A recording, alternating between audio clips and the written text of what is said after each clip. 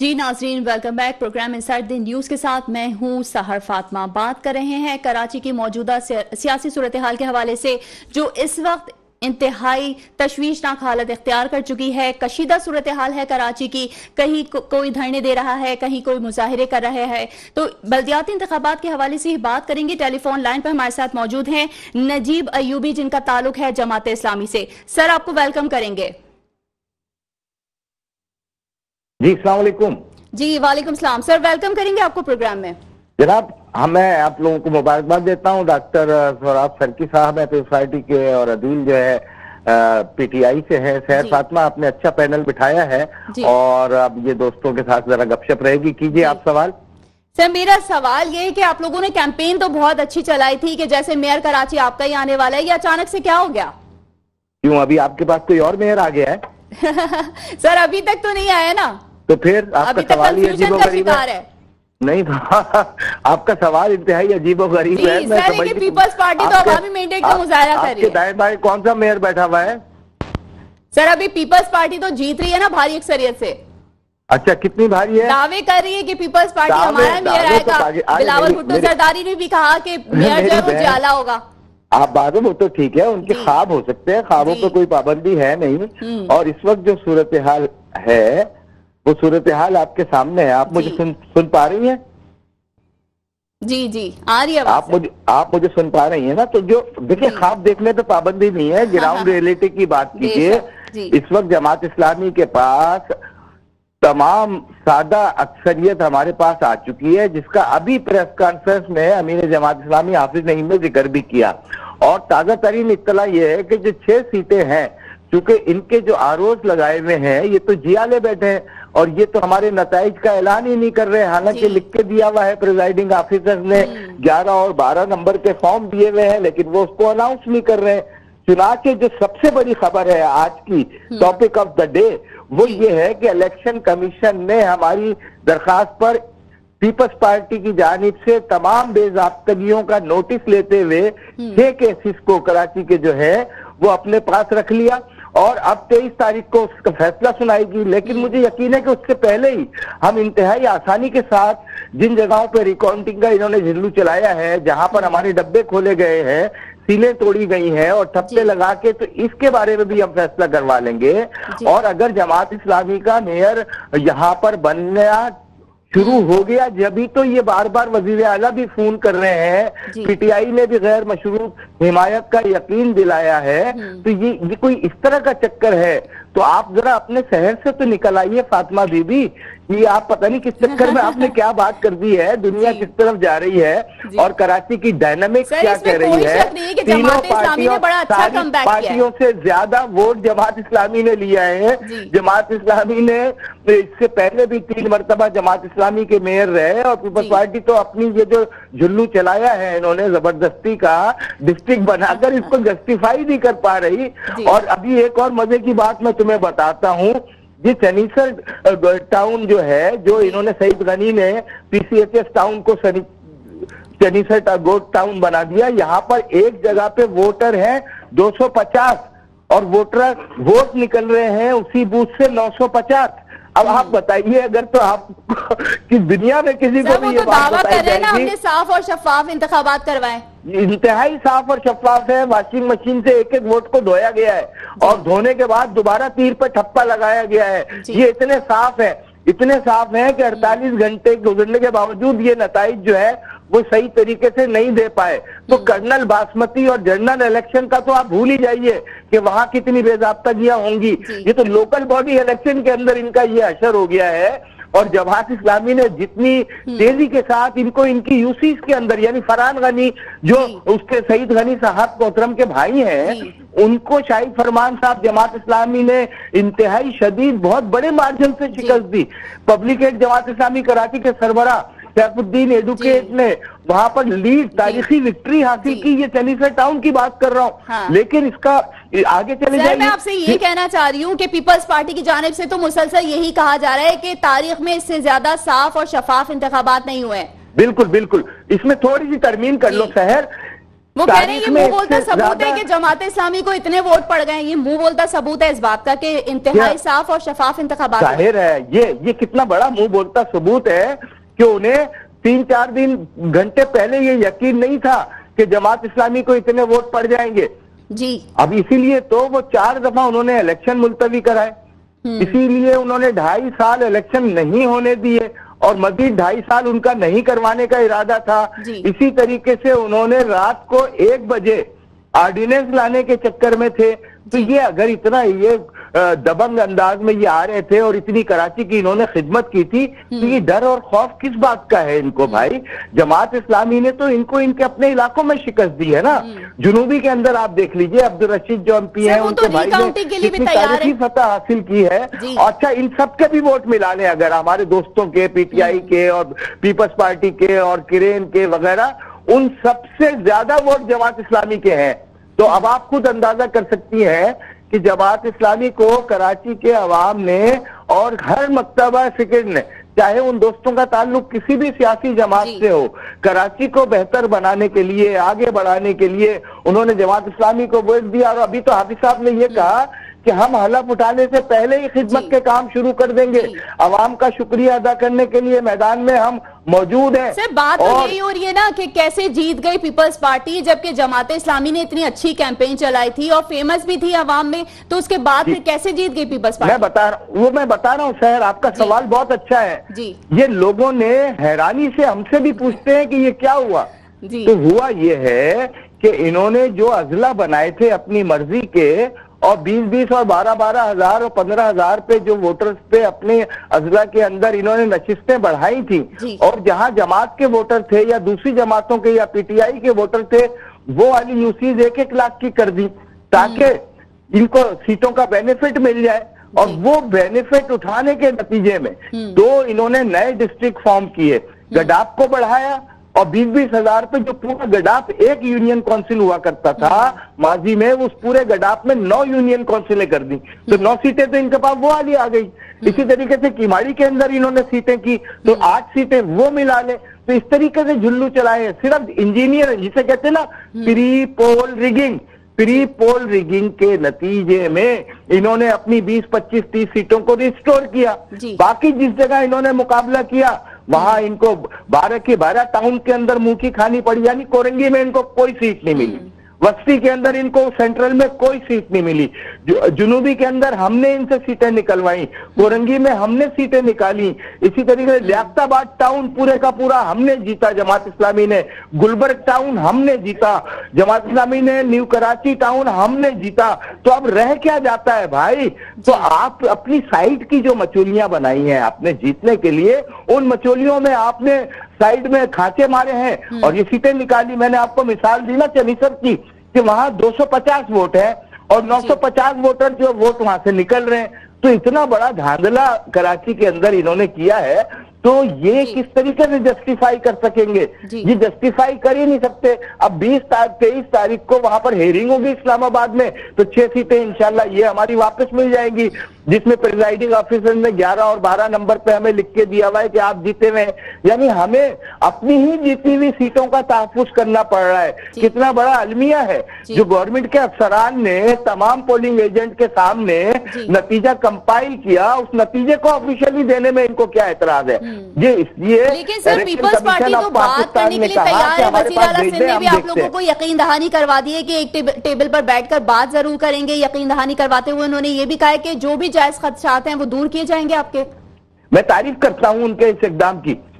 मैं उनके इस इकदाम की तारीफ़ करता हूँ लेकिन ये इकदाम कैसा है कि सुबह तो वो फ़ोन कर रहे हैं दोपहर में और शाम में चार जगहों के ऊपर फायरिंग हो रही है लोग जमात इस्लामी के कारकुन जख्मी हो रहे हैं, और जो इनके रिटर्निंग ऑफिसर ज़्यादा कारकुनान लगाए गए हैं, वो सीले खोल खोल के छप्पे अभी भी इस वक्त भी लगा रहे यानी यूनिवर्सिटी रोड बंद है इस वक्त। वहाँ पर जो डीसी ऑफ़िस है उसके ऊपर ठप्पे लग रहे हैं सीले तोड़ के। मलिर के अंदर एक कारकुन हमारा जख्मी हुआ फायरिंग हुई। डीसी ऑफ़िस के अंदर से फायरिंग की गई। पीपल्स पार्टी के कारकुनों को लोगों ने पकड़ के थाने के अंदर दिया है। इसी तरीके से कुछ और गुंडे मंजर आम पे आए हैं। ये गाड़ियों के नंबर हमने नोट किए हैं कि किस एमपी एमएनए के घर से वो गाड़ियाँ निकली तो खैर ये तो चलो थोड़ा बहुत कह दो कि इलेक्शन में होता है। लेकिन इतना बड़ा धांधला थोड़ी हो सकता है कि कराची का हर तबका परेशान हो गया है। पीटीआई के दोस्त अलग परेशान है दूसरी जमातों के अलग परेशान है।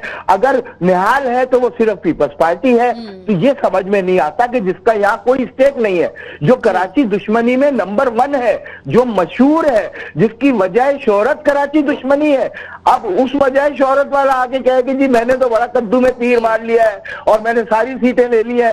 तो भाई जंगल भी आपका है अंडे भी आपके हैं मोर भी आप है शेर भी आप है जो मर्ज़ी कहते रहे। लेकिन अदालत के अंदर तो कागज़ चलता है ना भाई। लिखत चलती है और पढ़त चलती है। जब ना लिखत से आपका कोई ताल्लुक है ना पढ़त से आपका कोई ताल्लुक है हम्म। आप तो आएँगे फायरिंग करेंगे और जिए करके निकल जाएँगे। तो जिए के बाद तो हम भुगत रहे हैं ना पैंतीस साल से आपको। हम्म। अच्छा सर एक सवाल मैं आपसे करना चाहूँगी अगर इल्हाक करना पड़ेगा। कि आप हमारा कोई भी हक नहीं दे सकते। लिहाजा जमात इस्लामी आवाम के मैंडेट का दिफा करेगी भाई। हम दिफा करना जानते हम तो पीटीआई के दोस्तों को भी कह रहे हैं कि आ जाओ अपने फॉर्म लेके हाफिज नहीं आपकी सीटें निकलवा के देंगे हम्म। जिस तरह हमने अपनी सीटें निकलवाई है। सर तो इसी बात पर मैं आपसे सवाल करना चाह रही हूँ। अगर इल्हाक आपको करना पड़ेगा तो आप पाकिस्तान पीपल्स पार्टी से करेंगे या पीटीआई से करेंगे? हाँ ये बहुत अच्छा सवाल है। हम क्यों करेंगे भाई? जब हमारे पास सादा अक्सरियत आ जाएगी तो हमें किसने काटा है कि हम इधर जाएँ और उधर जाएँ? हम तो अपनी अपनी बनाएँगे ना आवाम ने तो हमें वोट दिया ना जमात इस्लामी को। हम्म। तो हमें क्या शौक है किसी के पास जाने का? अभी मखसूस नशिस्तों के बाकी है। अभी छह सीटें हमारी ये आ रही हैं। रिकाउंटिंग में जो इन्होंने हमें घुमा के रखा हुआ है ट्रक की बत्ती के पीछे लगाया है। हम इनको ऐसी बत्ती के पीछे लगाएँगे कि फोर चौरंगी घुमा देंगे पूरी सुबह से शाम करवा देंगे। हम इनको इनके ऑफिसों से निकलने तो दे नहीं रहे। ये पुलिस के ये पवर साहब तो, तो वो क्या नाम है टाल पर यानी टाल। केस को टाल 48 घंटे से रजनी दे रहे थे, पुलिस के कपड़े पहन के निकल रहे थे, कारकुनान जमात सामी ने वही पकड़ लिया इनको। दूसरी दफ़ा फिर निकलने की कोशिश की मोटरसाइकिल पे बैठ के, फिर कारकुनान ने चापा डाल के इनको पकड़ लिया। तो इनको तो घरों में नहीं जाने देंगे अब हम। जब तक के ये कराची के अवाम के तमाम नतज सही तरीके से हमारे हवाले नहीं करते, इनका तो वास्ता जमात इस्लामी से पकड़ा है। पहली दफ़ा इनका वास्ता इस तरीके से पड़ा है। भाई, आप, हम कैसे छोड़ दें जनाब हमने देखा है ना सुबह वोट डल रहे हैं तराजू के ऊपर। और उसके बाद 24 घंटे 48 घंटे आप अपनी रिश्वत तो 50-50 लाख की पाँच मिनट में गिन लेते हो। पाँच हज़ार वोट आपसे नहीं गिने। हम्म। वाह भाई वाह। ये कैसा तमाशा है भाई? आसान क्या समझते हैं? बताए जाने में इतनी देर क्यों लग रही? है कोई जनरल तो नहीं है लग रहे थे ना? अगर ठप्पे नहीं लगते तो नतज फ़ौरन आ जाते। हम्म। अच्छा आप क्या समझते हैं ये जो मुजाहरे और धरने हो रहे हैं ये मसाइल का हल है? यस यही मसाइल का हाल।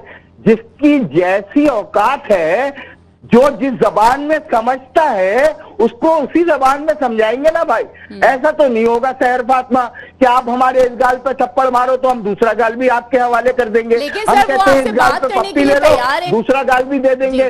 बदमाशी करोगे तो ठीक है फिर हमें भी कुछ ना कुछ चीज़ें तो आती है ना भाई। हमें हमारे आप वोट दे दीजिए। हमें आप हमारा मैंडेट दे दीजिए। हम्म। हमारी आपके साथ सर, कोई तो लड़ाई तो हमेशा से दावे करते हुए तो नज़र आए कि अवामी मैंडेट हमारे साथ है।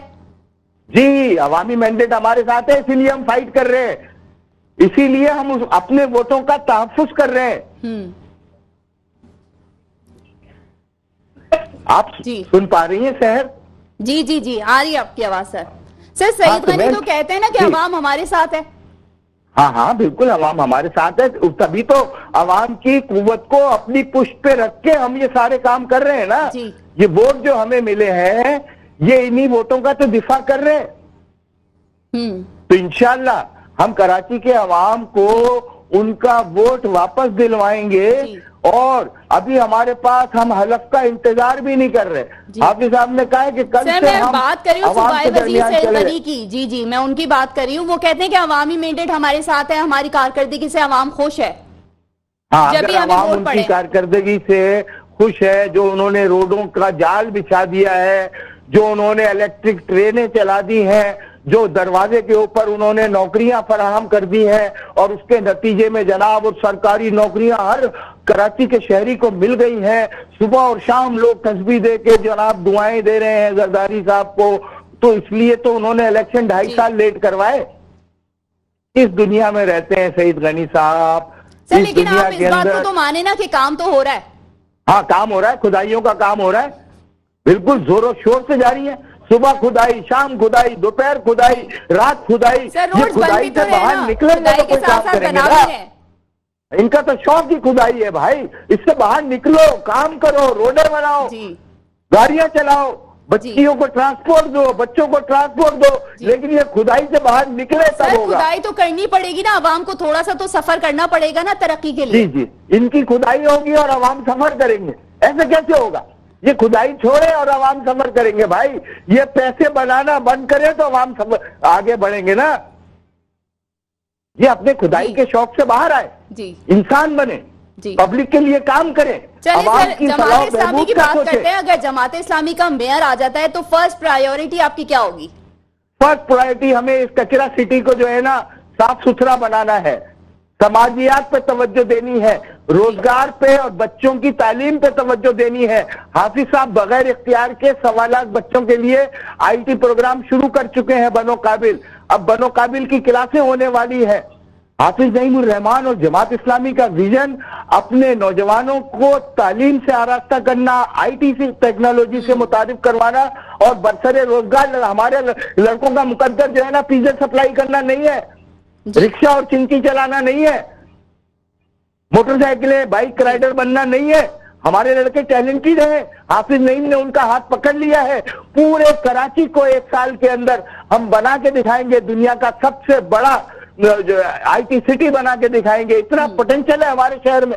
हमें लड़वा के बर्बाद कर दिया हमें गुटकों के अंदर बर्बाद कर दिया अच्छा हमें कलेक्शन को दे के बर्बाद कर दिया। वज़ीर अला सिंध का कि जो भी मेयर बनेगा वो इख्तियार का रोना नहीं रोएगा। तो इस बात का क्या मतलब है? इस बात का मतलब यह है कि आसिफ नईम ने कहा है कि हम पिछले मेयर की तरह फ़ाइल फेंक के नहीं आ जाएँगे। हमारे पास जितना इख्तियार होगा उससे बढ़ के काम करेंगे। इस वजह से उन्होंने ये कहा। कि भाई वो भी तस्लीम कर रहे हैं कि हाफिज नईम रहमान जो कहता है वो करता है। हम्म। उसने कहा हमारा मेयर होगा हम नंबर वन होंगे। नंबर वन हो गए। हम्म। उन्होंने कहा कि हम नौजवानों को इस तरह आगे लेके जाएँगे ग्रेजुअली। उन्होंने आगे बढ़ाना शुरू इख्तियार तो हमारे पास कुछ भी नहीं था हम्म। लेकिन काम हमने वफाकी नोयत के कर दिए हैं। ये वो तमाम चीज़ें हैं जिसके नतीजे में कराची के अवाम ने हाफिज नईम रहमान को अगर पिछली हुकूमत नहीं कर पाई इन्हीं इख्तियार में वो काम तो आप लोग किस तरह कर लेंगे ये काम? यही तो मिलियन डॉलर सवाल है। बिल्कुल उसी तरीके से करेंगे जिस तरीके से अभी बनो काबिल प्रोग्राम किया है। बिल्कुल उसी तरीके से करेंगे जिस तरीके से कोरोना पेंडेमिक के अंदर जमात इस्लामी ने काम किया है। और जिस फ्लड रिलीफ की एक्टिविटीज़ की है कि दुनिया भर की समाजी तंजीमों ने मुल्कों ने हमें अप्रिशिएट किया है कि ये जमात इस्लामी है ये जमात इस्लामी के रफाई इदारे हैं कि जिन्होंने बगैर गवर्नमेंट की फंडिंग के पूरे पाकिस्तान के अंदर एक सुनहरा दौर का आगाज़ कर दिया हम इस तरह काम करेंगे। जैसे नेमतुल्ला ने किया चार अरब से बजट ले गए इकतालीस अरब रुपए तक। जैसे मेयर अब्दुल सत्तार अफगानी मरहूम ने काम किया वो दो दफ़ा मेयर रहे और दोनों दफ़ा पानी के मंसूबे उन्होंने दिए। तीसरी मरतबा नेमतुल्ला ने दिया। उसके बाद 16 साल गुजर गए। ठीक है सर। सर आपका बेहद शुक्रिया। अपने इनसाइड द न्यूज़ को वक्त दिया। नजीब अयूबी साहब जिनका ताल्लुक है जमात इस्लामी से। सर आपका एक बार फिर से बहुत शुक्रिया अदा करेंगे। इन द एंड हम यही उम्मीद करते हैं नाजरीन के कराची जो है वो मुआशी हब है पाकिस्तान का।